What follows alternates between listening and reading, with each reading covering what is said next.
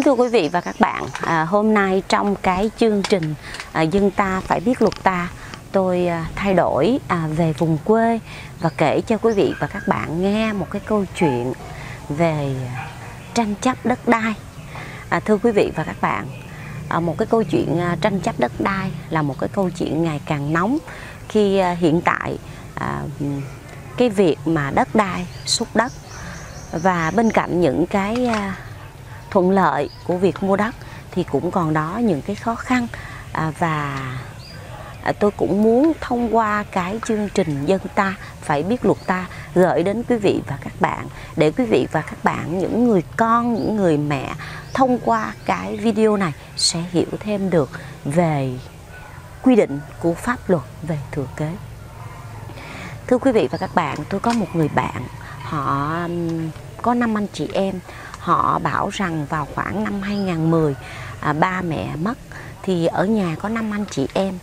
Thì khi mà năm anh chị em thì à, người mẹ còn lại đã hoàn tất cái thủ tục gọi là khai nhận di sản thừa kế à, và sang tên mẹ. Thì hiện tại bây giờ cái cơn sốt đất đó và người mẹ đã à, theo lời của chị kể đó thì người mẹ đã bán cái phần à, một phần thì anh chị em không có ý kiến vì cái hoàn cảnh nó cũng tương đối là là khó khăn. Để chỉ mong là mẹ lấy số tiền đó để mẹ dưỡng già. À, tuy nhiên rằng là khi cái câu chuyện à, bán đất không dừng lại ở đó và bà quyết định là hôm nay là trong cái tâm điểm của xúc đất và bà quyết định bà bán thêm cái phần đất khác thì bắt đầu anh chị em có ý kiến vấn đề đặt ra là làm như thế nào để giữ được những cái mối quan hệ gia đình giữ được những cái hòa khí. À, tôi à, cũng có rất là nhiều những cái vụ kiện mà quý vị và các bạn đã xem đó. Thì à, con kiện cha vợ kiện chồng anh chị em kiện nhau để à, được chia thừa kế. Hôm nay tôi không nói nhiều quá về cái câu chuyện thừa kế nhưng thông cái qua cái câu chuyện thừa kế à, của một cái chị bạn tôi à, sẽ đưa cho quý vị và các bạn một cái câu chuyện của à, pháp luật quy định về thừa kế. Đây quý vị và các bạn thấy không? Đây. Bây giờ tôi giả sử đi. À, tôi lấy một cái câu chuyện là đây ba mẹ họ có 5 người con.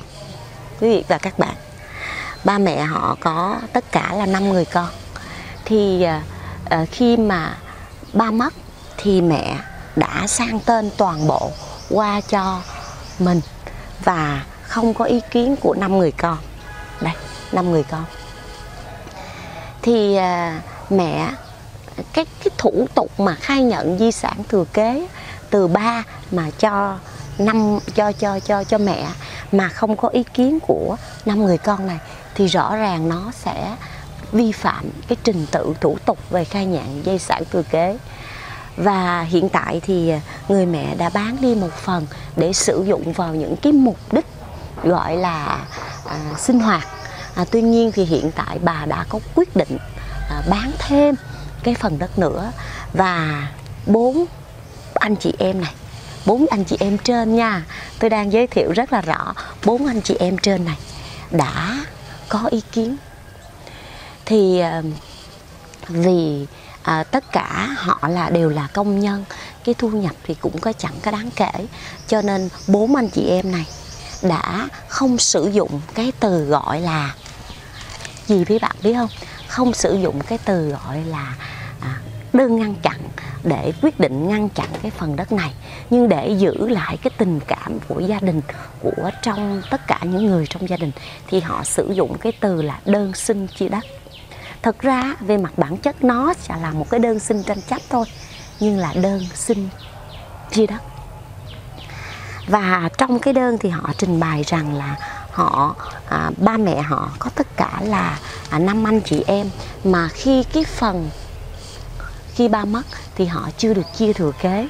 À, tôi tạm à, tôi tạm lấy cái cơ sở pháp lý là như thế này nha. Tôi à, lấy tổng cái giá trị tài sản mà ba mẹ của họ có được là 12 đồng. Và bây giờ là cái cách chia trong cái chương trình dân ta phải biết luật ta nha quý vị và các bạn. Đây, thì ba mẹ có tạo lập được là 12 đồng cái tài sản chung vợ chồng. Thì khi mà ba mẹ tạo được, tạo lập được 12 đồng, thì ba mất. Tại thời điểm ba mất thì 6 đồng của ba 6 đồng của ba sẽ chia cho mẹ. Đây mẹ. À sẽ chia cho mẹ. Và năm anh chị em thì mỗi người được một đồng. Thì như vậy theo quy định của à, hàng thừa kế thứ nhất hàng thừa kế thứ nhất bao gồm cha đẻ mẹ đẻ cha nuôi mẹ nuôi con đẻ con nuôi của người chết. Vậy thì trong trường hợp này tại thời điểm năm 2010 khi cha mất, khi ba mất, thì phát sinh hàng thừa kế thứ nhất. Vậy một phần hai tài sản của ba sẽ được chia cho năm anh chị em. Tôi lấy 6 đồng đó. Và cả mẹ nữa, là toàn bộ là 6 6 đồng. Mỗi người được một đồng. Và theo quy định của luật thừa kế thì hàng thừa kế thứ nhất nếu trong trường hợp ông mất không để lại di chúc thì hàng thừa kế sẽ được chia đều theo pháp luật và mỗi người được một suất thừa kế bằng nhau. À, có thể là hưởng bằng giá trị cũng có thể là hưởng bằng tiền cũng có thể hưởng bằng đất. Thì mình tính cách tách tổng quát như vậy. Vậy thì tóm lại hai cái vấn đề. Thứ nhất vậy thì người mẹ đã được 6 đồng cộng thêm một đồng thừa kế của ông chồng nữa là tổng cộng được 7 đồng năm anh chị em này. À năm anh chị em này thì mỗi người à, được à, một đồng. Thì tổng cộng là 5 người là à, mỗi người được một đồng là 5 người là 5 đồng. Cộng lại tổng cộng là 12 đồng. À, thưa quý vị và các bạn chắc chắn trong cái việc à, vlog à, làm những cái video về chia thừa kế theo à, pháp luật à, nó sẽ dễ dàng nó sẽ sinh động hơn để à, à, cho nó thoát khỏi những cái khô khan của cái cái hình ảnh à, thừa kế. Và tôi cũng đưa đến thông điệp của cái gia đình họ rằng à, các anh chị vẫn cứ bám theo cái nội dung chính này. Mỗi anh chị nếu được bố mẹ đứa được mẹ à, chia một đồng đủ hoặc là non hơn một đồng thì thôi hãy nhận. Còn trong trường hợp mẹ mà à, sử dụng cái quyền gọi là quyền quyết định quyền định đoạt hết thì chúng ta hãy rất là nhẹ nhàng. À, tại thời điểm đó không có ý kiến của tụi con mà mẹ đã hoàn tất cái thủ tục khai nhận di sản thừa kế qua tên mẹ và mẹ đã bán thì tụi con cho rằng cái việc nó bán để Ờ, giải quyết những cái nhu cầu sinh hoạt giải quyết những cái nhu cầu về à, bức bách trong cái đời sống à, cuộc sống có khó khăn. Còn bây giờ hiện tại mẹ hãy nên à, xem lại cái quy trình thừa kế những cái quy định của pháp luật về thừa kế à, để à, cho tất cả các con. À, tại vì à, chị nói với tôi rằng nói thiệt với luật sư rằng à, tụi em là à, dân lao động mà dân công nhân mà không hiểu lắm và tôi cũng đã sau khi tư vấn thì tôi đưa cho chị một cái tờ giấy và để gì chị nghiên cứu.